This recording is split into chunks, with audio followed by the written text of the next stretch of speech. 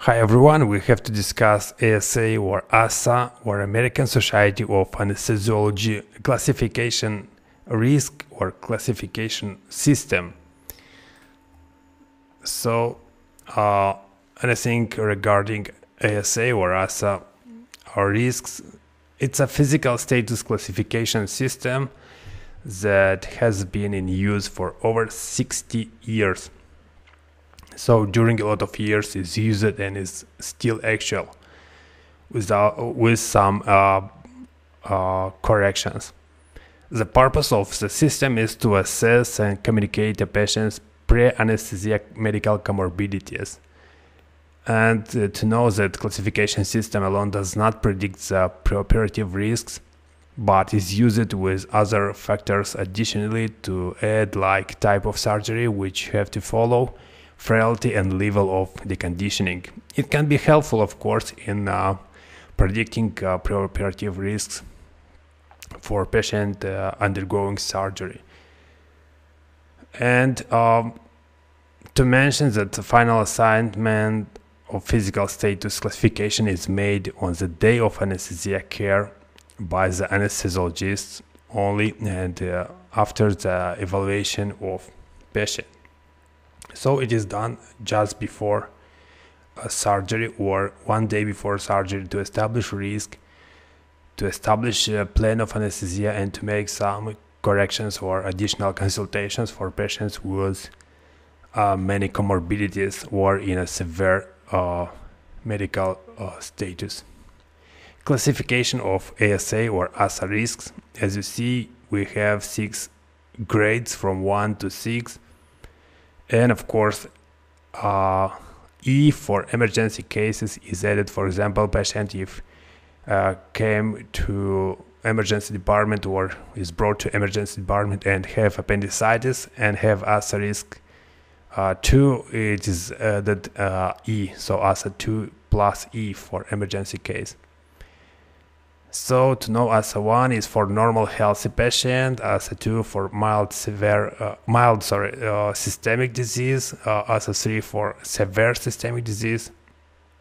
ASA 4 is for severe systemic disease that is a constant threat to life, need a lot of medication and monitoring. ASA 5 is uh, for moribund patient who is not expected to survive without the operation in 24 hours and ASA 6 is declared a brain dead patient so patient is dead and only is good for organs or uh, for donor purposes. Uh, let us uh, explain um, classification in examples this is simple to understand. For example patient adult one uh, comes uh, to you for evaluation and have ASA1. So this one is a healthy non-smoking, uh, uh, not taking any uh, substances like alcohol or any minimal use of. ASA2 is uh, for mild diseases uh, only without substantive functional limitations. So no functional limitations. It can be a current uh, smoker, drinker, a pregnant woman with or obese obese patient with body mass index less than 30 which is mean uh, which means that is not uh, morbid obesity. Uh, if patient come uh, to you and have substantive functional limitations with one or more moderate to severe diseases like uh, poorly controlled diabetes mellitus hypertension COPD and morbid obesity these uh, these uh, comorbidities or diseases are common, as you know, and a lot of patients come to you with these comorbidities, and you have to be very vigilant. Also, patient with active hepatitis, alcohol dependence or abuse, implanted pacemaker uh, reduction or uh, affected ejection fraction, a patient who undergo regularly scheduled dialysis with uh, end-stage renal disease with history of uh, more than three months of myocardial infarction, cerebral vascular accident, transient ischemic attack, and uh, uh, coronary artery disease with or without stents uh, or stent placement, and of course, uh, coronary bypass, coronary artery bypass.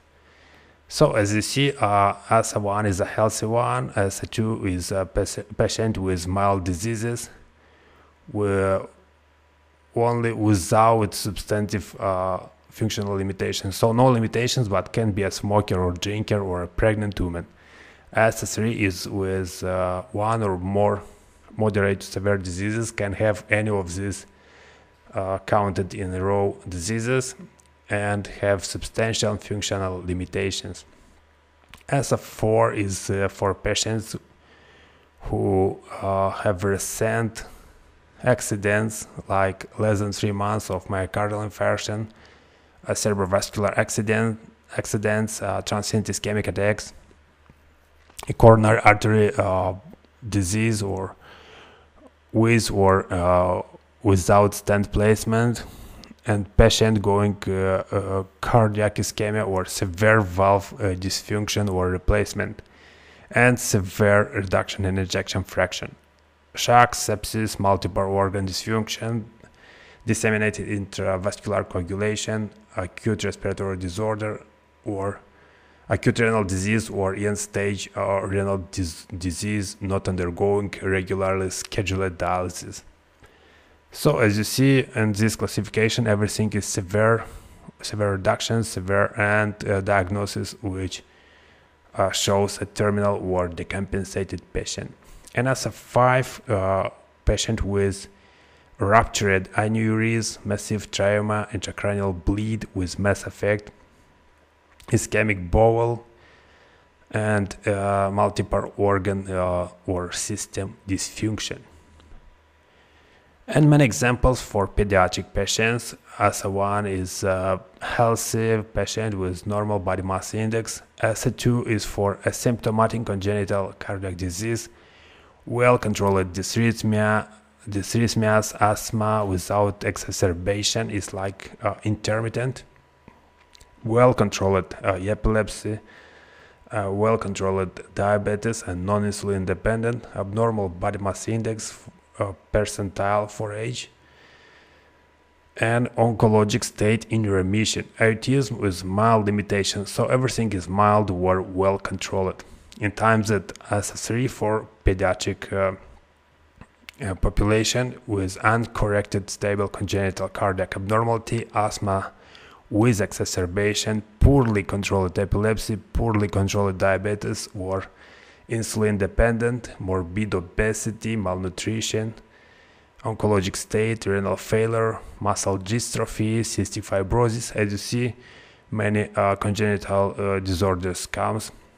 History of, of, organ transplantation, brain or spinal cord mal- malformation, uh, symptomatic hydrocephalus, and premature infant PCA.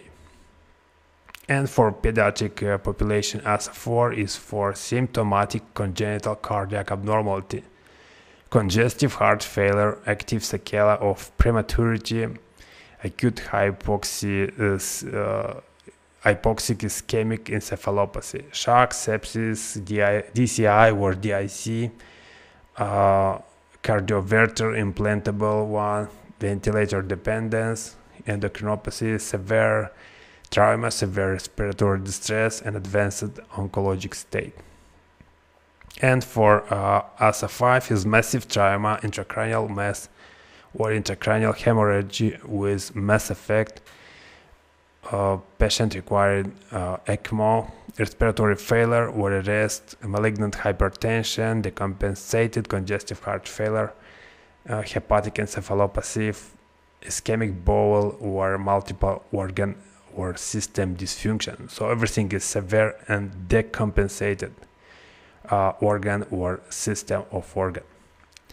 And you see examples for obstetric uh, population as one is uh, is considered for norm, normal pregnant, but as a patient or uh, female is pregnant, it is considered that have uh, a normal state, but anyway uh, have some modifications. So ASA2 is with well-controlled gestational hypertension, controlled preeclampsia without severe features, uh, diet-controlled gestational diabetes mellitus.